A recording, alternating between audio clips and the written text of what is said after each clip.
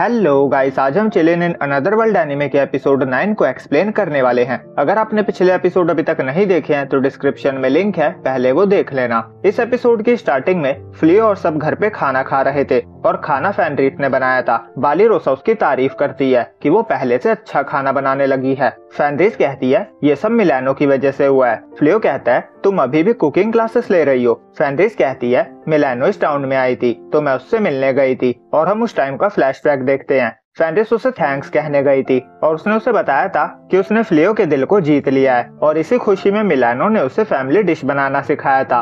अब scene present में आता है। फैंड्रिस कहती है, उन्होंने मुझे बच्चे को कौन सा खाना पसंद आता है, वो भी बनाना सिखाया। फिर वहाँ प्रिंसेस आती है। फ्लियो कहता है, मैंने कहा था ना, मुझे हीरो बनने में कोई इंटरेस्ट नहीं है। प्रिंसेस कहती है, मैं आपसे माफ़ी मांगने आई हूँ। मुझे पता है आप बना जाओ, जिसे हीरो कैंडिडेट के लिए समन किया गया था। वो फ्लियो से अकेले में बात करना चाहती थी, पर फैंड्रिस कहती है, तुम्हारे किंगडम ने अभी तक फ्लियो के साथ बुरा बर्ताव किया है। मैं तुम दोनों को अकेले छोड़कर नहीं जाऊँगी। फ्लियो फैंड्रिस के हाथ पे हाथ रखकर कहता है, मेरी वाइफ यहीं रहेगी। अगर आपको इससे कोई प्रॉब्लम है तो आप यहाँ से जा सकती हो। फैंड्रिस खुश हो जाती है। प्रिंसेस उसकी बात मान जाती है। और बालीरोसा और बाकी सब रूम से बाहर चले जाते हैं। और फिर प्रिंसेस नीचे बैठकर पूरे किंगडम की तरफ़ से उसके साथ हुए बुरे बर्ताव के लिए उससे माफ़ी मांगती है। फ्लियो कहता है, आप उठ जाओ, मैं भी फ्लियो हूँ, बस एक मर्चेंट। प्रिंसेस कहती है तो आप मुझे माफ़ नहीं करोगे? फ्लियो कहता है, अब इससे कुछ नहीं बदलेगा। फिर वो कहता है, आप यहाँ बस माफ़ी मांगने तो नहीं आई होगी। प्रिंसेस उसे मैजिकल मैप दिखाती है, जिसमें उनके सैनिकों की पोजीशन शो हो रही थी। वो बताती है, हमारे प्यूरिफिकेशन मैजिक का असर खत्म होने वाला है, और जब ऐसा होगा तो डार्क आर्मी फिर दोबारा हमला करेगी। हमारे जादूगर अभी भी ठीक नहीं हुए हैं, और इसीलिए हमने अपने सैनिकों को फैला दिया है, और राजा ने भी प्यूरिफिकेशन मैजिक यूज़ किया था। जिसकी वजह से वो अभी तक बीमार है। मुझे पता है आपने हीरो बनने के लिए मना कर दिया था, पर मैं आपसे एज अ हीरो नहीं, बल्कि हमारी कंट्री को प्रोटेक्ट करने के लिए हेल्प मांग रही हूँ। फैनरिस कहती है, तुम बस मेरे हस्बैंड को यूज़ करना चाहती हो. प्रिंसेस कहती है, जब किंग ठीक होंगे तो वो डार्क वन से रिलेशन रखने के जुर्म में तुम्हारे पीछे सैनिकों को ज़रूर भेजेंगे। पर क्योंकि मैं अभी प्रिंसेस हूँ तो मैं इसमें तुम्हारी हेल्प कर सकती हूँ। मैं उन्हें गलत कैंडिडेट को हीरो चुनने के जुर्म में उनका राज सिंहासन छीन सकती हूँ। उन्होंने क्लायरॉड किंगडम को बचाने के लिए बहुत कुछ किया है, पर जरूरतमंदों की हेल्प कभी नहीं करी, पर मैं सबकी हेल्प करना चाहती हूँ। और इसके लिए मुझे शो करना होगा कि मैं राजगद्दी और आर्मी दोनों को ही संभाल सकती हूँ। फैंडेस कहती है, तुम बस मेरे हस्बैंड का यूज़ करके राज करना चाहती हो। फ्लियो से शांत होने को कहता है, वो प्रिंसेस से कहता है, तुम चाहती हो मैं डार्क आर्मी ज्वाइन ना करूँ, है ना? वो कहती है हाँ। मैं बस टाउन को प्रोटेक्ट करना चाहती हूँ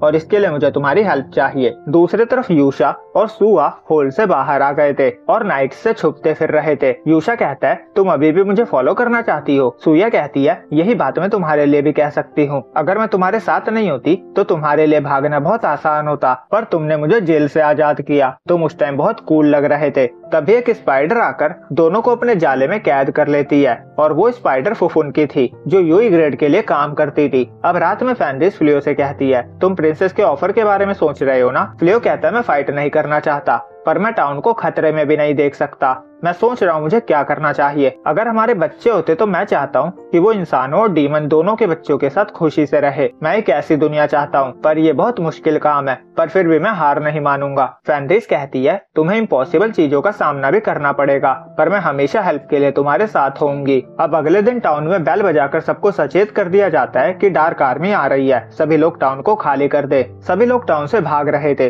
पर एक छोटी बच्ची फॉरेस्ट में थी। डीमन उसे मारने वाले थे। तभी वहाँ फैनरिस और फ्लियो आते हैं और फ्लियो वहाँ पे बैरियर लगा देता है। और लड़की को भागने को कहता है और फैंड्रिस फ्लियो से कहती है, मुझे लगा था तुमने हेल्प के बदले कुछ रिवॉर्ड की बात करी होगी। फ्लियो कहता है, मैं ऐसा नहीं कर सकता था। नहीं तो वो कहते, इंसानों ने मुझे खरीद लिया है। डीमन कहता है, लुपाइन इंसानों का साथ क्यों दे रही है? फ्लियो कहता है, हम इस टाउन के प्रोटेक्टर्स है। अगर तुम यहाँ से चले जाओगे तो हम तुम्हें चोट नहीं पहुँचाएँगे। पर अगर तुमने यहाँ के लोगों को नुकसान पहुँचाया तो मैं तुम पे रहम नहीं करूँगा। डेमन कहता है अच्छा मज़ाक कर लेते हो। फ्लियो कहता है, मैं सीरियस हूँ। फैंड्रिस कहती है, तुम तो ये बैरियर भी नहीं तोड़ सकते। तभी वहाँ साइलॉप्स आता है। फैंड्रिस कहती है, ये डार्क आर्मी की सबसे पावरफुल ट्राइब से है और यूई ग्रेड का सर्वेंट है। साइलॉप्स इन्फीरियर फोर का मज़ाक उड़ाता हुआ कहता है कि वो कितने कमज़ोर थे, जो प्योरिफिकेशन से ही मारे गए। वो कहता है, मेरी लड़ाई तुमसे नहीं है। फैंड्रिस फ्लियो से कहती है, इसे मुझ पे छोड़ दो। मेरा भाई फ्रेंगायल मारा गया था। पर मैं अपने ट्राइब की बेइज्जती होने नहीं दूँगी। मुझे अपनी ट्राइब के स्ट्रेंथ पे गर्व है और उसकी सिस्टर होने के नाते मैं ये नहीं सहूँगी। वो साइलॉप्स को कहती है,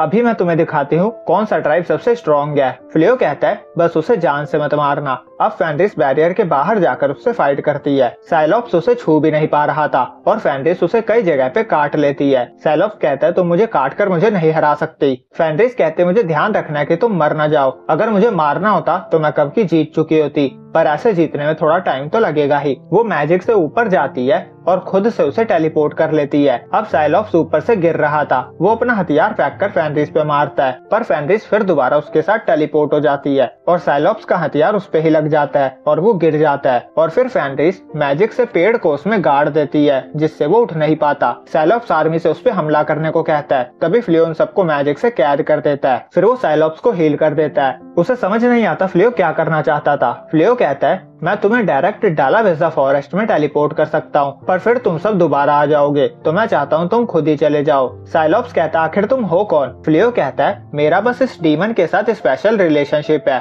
अभी मैं प्यार से तुम सबको जाने को कह रहा हूँ। अगर तुम नहीं माने तो मेरे पास दूसरा रास्ता भी है। सारे डीमन उससे डर के भाग जाते हैं। फेंड्रिस कहती है, जब उन्हें दोबारा ऑर्डर दिया जाएगा तो वो फिर आएँगे। हमें उन्हें इतनी बुरी हालत में भेजना चाहिए था कि वो आने से पहले सौ बार सोचे। फ्लियो कहता है इससे काम आसान हो जाता, पर इससे इंसानों और डीमंस के बीच नफरत और बढ़ जाती। फिर जिस लड़की को उन्होंने बचाया था वो कुछ लोगों के साथ वहाँ आती है। वो सब फ्लियो को थैंक्स कहते हैं और उन्हें वुल्फ की चिंता हो रही थी कि वो कुछ करना दे। फ्लियो कहता है, ये मेरी पार्टनर है, इसकी चिंता आप मत करो और मैं यहाँ प्रिंसेस की रिक्वेस्ट से आया था तो उन्हें थैंक्स कहो। दूसरी तरफ़ प्रिंसेस को रिपोर्ट दी जाती है कि किसी ने टाउन को बचा लिया है, पर उसने अपना फेस छुपाया हुआ था और उसने कहा, वो प्रिंसेस के रिक्वेस्ट से आया है। प्रिंसेस कहती है, वो ज़रूर फ्लियो होगा। वो खुश थी कि फ्लियो ने उसकी रिक्वेस्ट मान ली और वो इसके बदले उसे कुछ देने का सोचती है। सीन वापस फ्लियो पे आता है। उसने एक और टाउन से डीमंस को भगा दिया था और डार्क वन उसके पीछे वाली पहाड़ी पे था। वो कहता है, उस यूई ग्रेड ने मेरे ऑर्डर के बिना ही ऑर्डर दे दिया। तभी वो पहले वाली डीमन आती है और डार्क वन को बताती है। उलिमिनास ने अर्जेंट मैसेज भेजा है। यूई ग्रेड ने आपके सिंहासन पे कब्जा कर लिया है। सीन यूई ग्रेड पे आता है। वो डार्क वन की राजगद्दी पे बैठा था। वो पूछता है, क्या सारी तैयारी हो गई? फुफुन कहती है हाँ मैं दो हाई कैपेबिलिटीज वाले इंसानों को लाई हूँ। वो उन दोनों की कुर्बानी उनके इविल गॉड को देने वाले थे, जिससे यूई ग्रेड को इतनी पावर मिलेगी कि वो डार्क वन को हराकर खुद डार्क वन बन जाएगा। और डार्क वन वहीं जा रहा था। और यहीं पे ये एपिसोड एंड होता है। तो वीडियो अच्छी लगी हो तो लाइक और चैनल को सब्सक्राइब करना ना भूले। जल्दी मिलेंगे अगले एपिसोड में। जब तक के लिए बाय